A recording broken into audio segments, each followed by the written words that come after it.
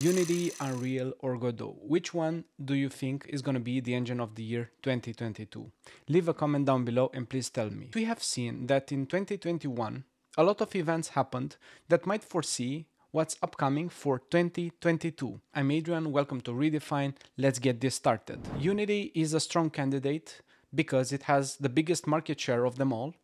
It has a lot of tools and plugins right out of the box, and it also has a lot of export possibilities for different platforms. Unity also became a public company. Well, that actually happened in 2020, but most of the decisions regarding its direction were taken in 2021, which means the last year. Why does Unity becoming a public company matter to us game developers? It means that now they have investors and investors want to see profits. And of course, that is going to be their main goal. And for this, since they already have saturated the game development market, they are looking towards other markets. And speaking of markets, probably you have seen the rebrand that they did last year, and that was for a good reason because they want to distance themselves from game development so they can access architecture, automotive, industrial, and many other industries. What this means is they'll provide more for them, and actually, since they cannot grow too much in the game development space, probably it means that they might provide less for us game developers because they did promise a lot of stuff, a lot of buzzwords, let's call them. So, dots, networking, um, package manager, render pipelines, input systems, and many, many other stuff. And as I saw somewhere on the internet and, and I thought it was funny, most of Unity's features are either early access or deprecated. This actually will create a rift between game developers, package providers, and much, much more because even the versions, some people still use older versions and newer versions have stuff removed, other added. You don't know what's going where. So it's kind of a mess right now. And who knows what will be their next step in all of this. Also, their recent acquisitions of other companies don't actually seem to provide that much value, if any, to game developers and especially indie game developers. And might seem like big buzzwords uh, like Weta Digital, but in fact, they might not have that much importance to people that create a 2D mobile game, for example. I think Unity's biggest problem is actually its market share. In game development space, it's actually a double-edged sword because they cannot longer grow that much but other engines can. But how can other engines grow? By taking share out of Unity's reach. So I'm curious to see what's going to happen with Unity this year. I don't think it will uh, go grow that much at least in the game development space. By the way, if you're interested in learning more about artificial intelligence in games, I'm hosting a free webinar, link down below.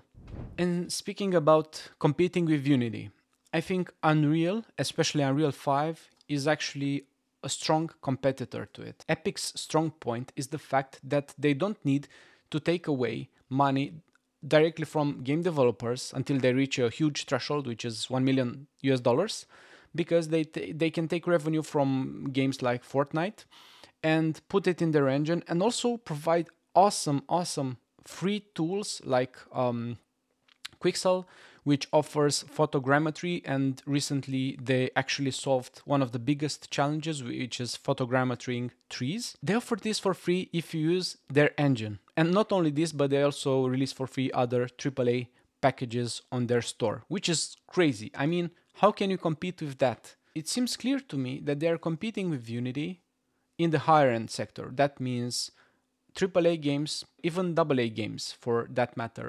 Also movies, and other sectors like real time renderings. And they have a huge advantage, and that is the time that they had in the engine for tools like the material editor, the blueprint system, the particle systems, and they are ways ahead of Unity. Unity tries to copy them. For example, they try to have their own blueprint solution, they, they try to have their own shader editor, but Unreal already has them and has them really, really well polished. They're ahead of this game. This all sounds fantastic, but there is a catch, right? Well, if you're doing anything else than a AAA game, a AA game, a movie production, or anything else, if you're just developing a 2D pixel platformer game or a mobile game or something smaller, then Unreal Engine is a super bloated and a big engine. It's actually massive. You need a powerful PC to run it and you need a lot of space to get all the assets. And what if you just want to make a simple game? Well, in this case, you should check Godot. Godot, in my opinion, has the highest chance of becoming huge in 2022. What are the reasons behind this? Well, first, Godot received some new funding. While this is not much compared to Blender, not even Unreal or Unity for that matter, but they are continuously getting more and more funding. And that means that the companies put their trust in them. And if more companies will put more trust in Godot, then at some point they'll reach a budget where they can actually hire more people to develop more cool stuff in it.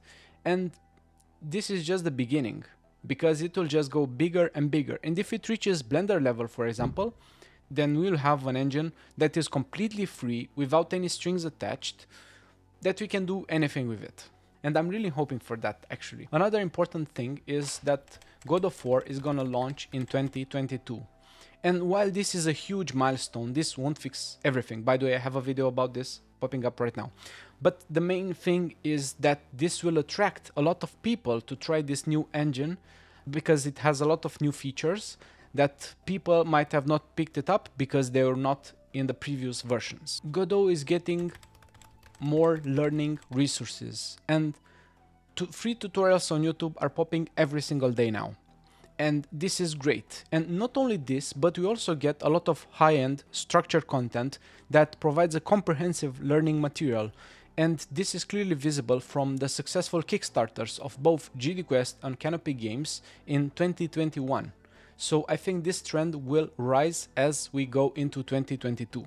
Making Godot games will actually become much more profitable in the near future, and that means money, like real money, because Gotm.io will include in their platform a way to monetize your games if you upload them there. So this is great because everyone can make a game and actually make money out of it without too much friction in between. So you make a game and if people play it, they will actually pay for it. What about exporting to consoles? Well, while Godot is definitely not near Unity or even Unreal in terms of exporting stuff, things are changing and they're changing fast because both Pineapple works and Gotm provide quick ways of porting your games to Nintendo Switch and also the official Godot team is working closely with Valve to make sure that Godot will be fully supported on the upcoming Steam Deck.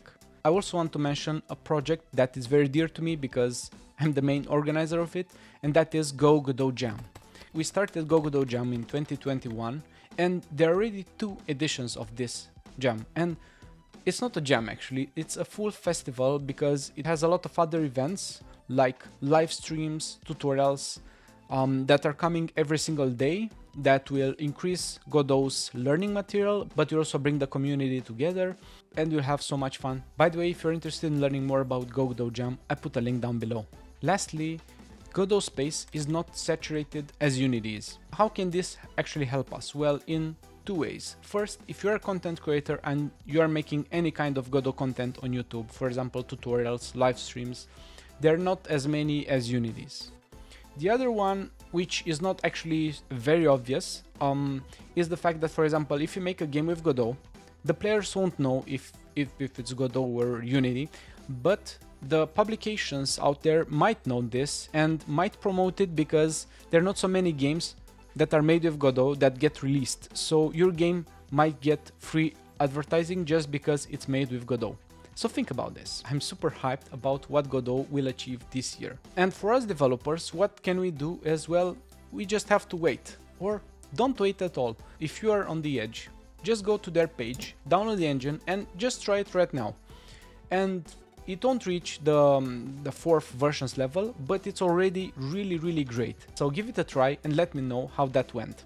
For me, it's already the game engine of the year. I'm Adrian, this is Redefine, and I'll see you in the next one.